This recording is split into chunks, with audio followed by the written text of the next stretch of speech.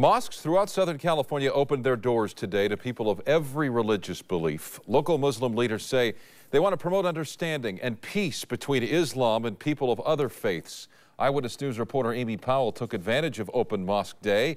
She filed this report. Allah. Daily prayers, an important part of Islamic faith. Today, the Islamic Center of Hawthorne and more than 30 other Southern California mosques invited visitors in for an open house, an opportunity to educate people about the role of mosques in the lives of Muslims and promote understanding. People who know Muslims on the personal human level have different views about Islam and Muslims than those who just get the information from the media or from other sources that happen around us. That's what Islam is. If anybody else says something else. And many were looking forward to the education.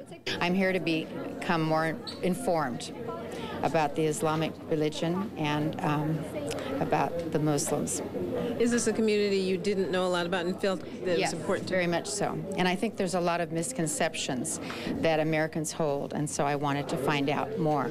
Jenny Sedabua, who is married to a Muslim man, brought along her daughter. I want to start learning more since now I'm enrolling my daughter in kindergarten and I know she's going to learn. So I want to learn more too. But this day isn't just about worship, it's also focusing on different aspects of American Muslim life, everything from arts and music to cultural activities. The mosques have been holding these open houses once a year, but they've been so successful, they'll probably start doing it twice yearly. Amy Powell, ABC 7 Eyewitness News.